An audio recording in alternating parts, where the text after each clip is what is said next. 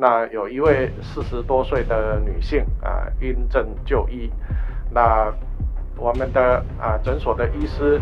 啊裁剪，好，那也发给她快筛的试剂，啊，结果快筛试剂是啊阳性，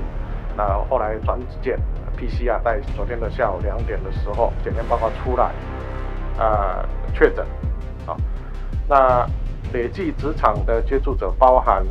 啊，这个第一位发现的二二三九四，该职场有十一位的啊确诊的啊个案啊，那另外的两位是这职场啊这个群聚事件的同住家人，同住家人两位家属的感染里面，其中有一位是某高中生的学生啊，那所以我们昨天到今天的早上的处置啊。该同学啊确诊的同学的同班同学，哦，总共有呃这个三十三位，哦，那级任老师再加科任老师九位，总共四十二位。刚刚检查的结果出炉，四十二位全部都是阴性。也跟大家说明的就是说，这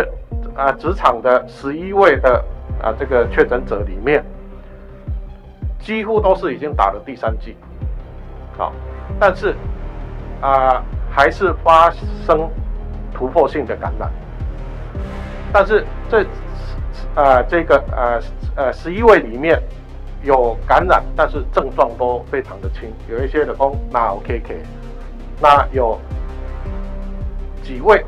是无症状，哦，所以这个对于在奥密克戎的这个啊感染的。啊，这个阻断它的传播率来讲，这个是一个很大的挑战，因为无症状或轻症的人非常多。